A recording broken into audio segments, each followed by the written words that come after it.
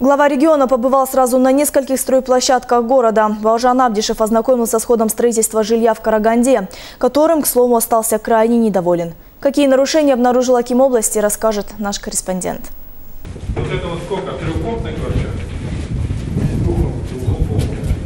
Это новый энергосберегающий дом по улице Ермекова, 9. Жилье возводят по госпрограмме для молодых семей. Строительство ведется по новым технологиям. Дом сэкономит до 20% на энергопотреблении. Это достигается за счет современных евростандартных окон, утепления чердака и углов здания, а также особой системы рекуперации отопления. Мы берем принудительно с улицы холодный воздух, проходит он через обогревающие камеры, и теплым подается в квартиру также происходит утилизация теплого воздуха, который идет на обогрев холодного. А это дом по соседству. Его строительство было приостановлено. Все дело в том, что специалисты, проводившие обследование здания, пришли к выводу. Дальнейшее возведение возможно лишь после укрепления несущих опор. Другими словами, подрядчики попросту некачественно выполнили работы. Причем недобросовестная строительная компания по-прежнему осуществляет свою деятельность. Ну вот посмотрите, вот. Ну что еще надо? Вон какая колонна первая, да и вот вторая, куда она ушла? Если мы весь девятый этаж перекрытия должны э, демонтировать.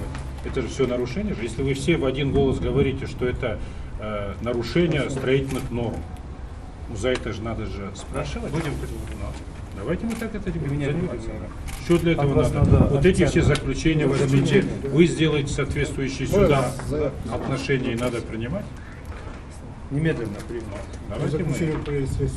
А это уже многоэтажки на юго-востоке. На два кредитных дома по проспекту Шахтеров выделено в общей сложности более 8 миллиардов тенге. Сумма внушительная. Однако красивые фасады сменяют многочисленные недочеты в планировке. Глава региона жестко выразился в адрес проектировщиков.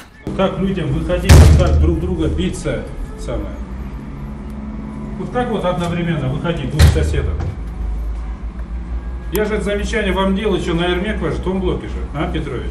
Я ну что за отношения? Кроме того, Баужан Абдишев побывал на стройплощадке в Майкудуке. По улице Бирюзова возводятся две пятиэтажки по программе «Доступное жилье-2020». Уже в этом году сюда въедут несколько десятков молодых семей. Ознакомился Аким области исходом строительства микрорайона Шапагат. В завершении выездного заседания начальником управления и строительным компаниям глава региона дал ряд конкретных поручений. Ирина Камышова, Марат Култенов, Первый Карагандинский.